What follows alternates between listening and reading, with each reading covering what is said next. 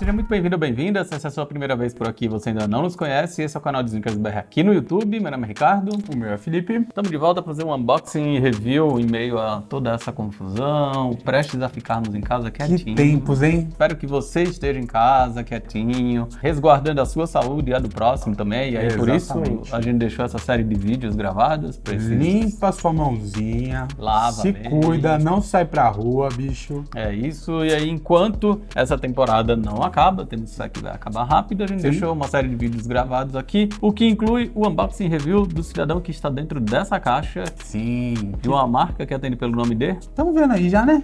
Converse. Converse, uma caixa preta tradicional da Converse. Uma caixa que parece algo normal, mas não é tão normal. Parece um tênis que já passou por aqui várias vezes e a gente tá falando do Chuck Taylor, Sim, mas. mas não é. Não é. Então, Não apenas um Chuck Taylor. abre aí e mostra do que, que a gente tá falando. Nós estamos falando de Como chama esse cidadão? Run Star Hike. Runstar Hike, que poderia ser considerado mais um integrante da família Chuck Taylor, Sim, já que o cabedal é o de um Chuck Taylor. é o do Chuck Taylor. Porém, a sola aqui é o do Run Star. E aí ele tem esse elemento hike, Que é um que solado. é esse solado abaixo do solado do Run Star. Como gosta de falar o Gerson, um solado meio tratorado. Tratorado. Esse bem robusto, com esse formato denteado. E esse é um tênis que nasceu com uma assinatura muito estrelada. Sim, J.W. Anderson. J.W. Anderson, um estilista inglês. Inglês. Que tem uma marca homônima, obviamente, que chama J.W. Anderson, e que já vem colaborando com a Converse há alguns anos. Já fez vários modelos, mas o grande sucesso dessa colaboração aconteceu quando eles lançaram essa silhueta, né? Sim, sim. Eu acho que foi quando o pessoal abriu os olhos pro que ele já vinha fazendo pra Converse, né? E esse tênis especificamente fez um sucesso muito grande quando saiu a primeira versão. Sim. Primeiro ele lançou uma versão branca Estreou ali em 2018 no London Fashion Week, né? no London Fashion Week de 2018. E aí depois ele lançou a versão de glitter. Cada lado do tênis tinha uma cor, se eu não me engano, verde e azul, no outro vermelho e azul, alguma coisa assim? Acho que mais ou menos isso. E aí uma execução que seguia o que ele já vinha fazendo nos Chuck 7. Sim. Ele já tinha feito um Chuck 7 nessa mesma combinação de cores. Aí depois ele Esse fez o... 7 é bem da hora. Ele fez Chuck 7 Glitter, ele chamou de Chuck 7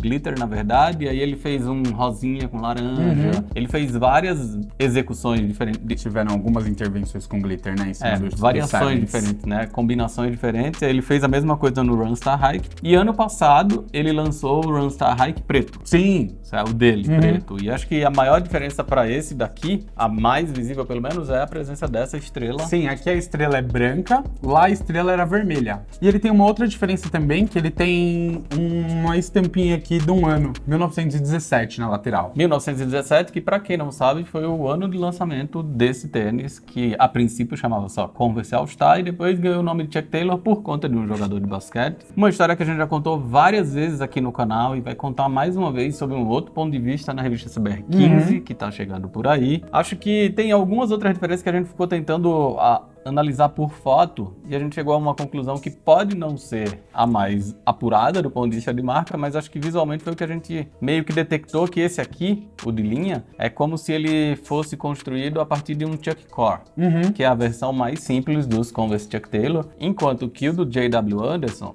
ele parece ser construído em cima do Chuck 7. Uhum.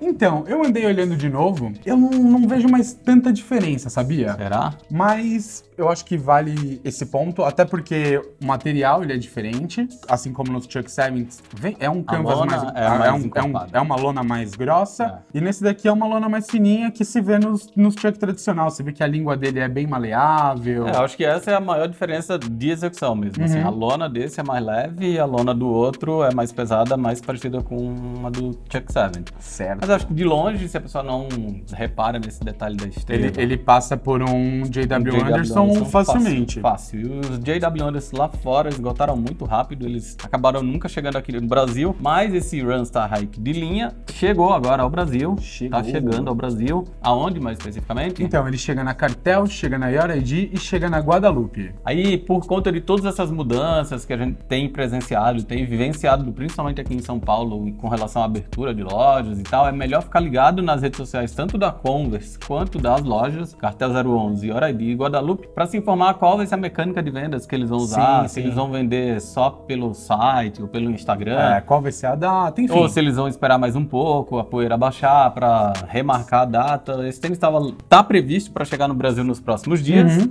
O preço é esse que você acabou de falar. Eu não falei? Não? Não. Então vai Vamos falar, falar agora. É o 529 reais. 15, 29 reais, provavelmente deve ter os 90 Uhum. centavos, que a Converse sempre usa. Tem a execução branca também, Uhum. linha, só que a Converse, por enquanto, só comunicou a preta. Então... É que esse daqui ele faz parte de um pack, né? E é isso que eu o queria que você contasse agora. Twisted Pack, que é um pack que tem esse tênis aqui, o Runstar Hike, tem um Chuck 7, um Core, que é o Chuck normal, que a gente tem aí de linha sempre, e tem também um modelo que é bem diferente, Que chama CPX 70. CPX 70. E qual seria a diferença desse para um Chuck Taylor? Então, a diferença dele é que ele é como se fosse um Chuck Taylor 7 montado numa sola de ERX. Hum, e ele tem uma separação. Ah, ele tem umas divisões ali no solado também. É isso, então é um pack que brinca com, como o próprio nome fala, twisted, ele dá uma torcida, uma misturada, uma renovada nesse no visual tradicional do Uhum. Chuck Taylor, trazendo novos membros para essa família do tênis mais conhecido da Converse, né, que aqui por muitos anos no Brasil as pessoas chamaram só de All Star. All Star.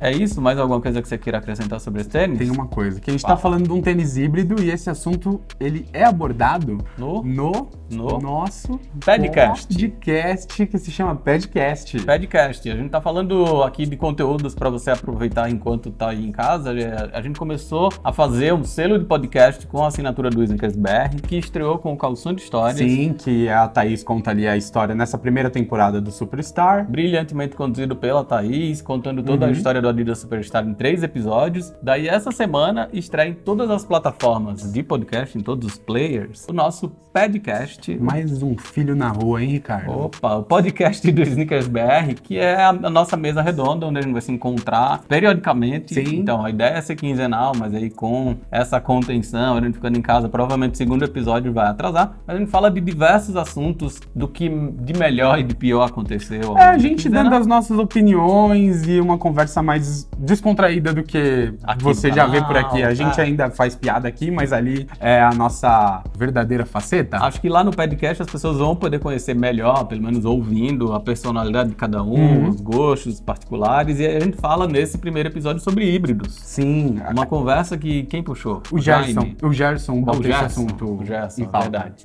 O Gerson colocou esse assunto em pauta, a gente falou sobre híbridos de chuteira com tênis, híbridos de tênis de diferentes gerações. Então, se você gosta de podcast, tá em casa sem ter muito o que fazer, coloca lá, procura Podcast, o podcast do BR, procura também Calção de Histórias. Já aproveita lá para assinar. Assina, seguir. compartilha com os amigos, porque ali não tem like, então a forma que a gente pode se espalhar, sei lá. Espalhar, não sei se é a Não melhor sei, palavra sei. nesse momento. Mas compartilha. Compartilha. Essa é a forma amigos. mais da hora de você passar a nossa palavra pra frente. É isso, depois deixa aí o seu comentário. Esse foi o unboxing review do Converse Runstar Hike, mais um filhote do Chuck Taylor. Um belo nascendo. tênis, hein? Belo soladão, a gente gosta muito. Tava Ah, na minha lista, né, o do JW Anderson. É verdade. Na sua também? Tava na minha também, tava na do Jaime também. Eu acho que vale deixar aqui também esse comentário de que esse tênis nem é masculino, nem é feminino, esse tênis não tem gênero. É pra então, quem quer usar. Se a grade de numeração atender, tá tudo certo. Se você gostou e quiser comprar, sem essa de ah, Não é tênis de mulher, é tênis de homem, Não blá, blá, encanem blá. jamais com isso, né? Basta já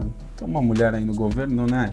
Que se chama Damares. É, deixa, deixa isso pra quem. Deixa isso. Mas enfim. Deixa isso pra lá. Deixa os recados do vídeo agora, que é o mais importante. Claro. Ah, bom, assina aqui o nosso canal, dá o like nesse câmera. vídeo, dá aquela balangandaga no sininho aqui pra você receber as nossas notificações. Agora vai ser importante pra você acompanhar a gente aí enquanto você tá de quarentena na sua casinha.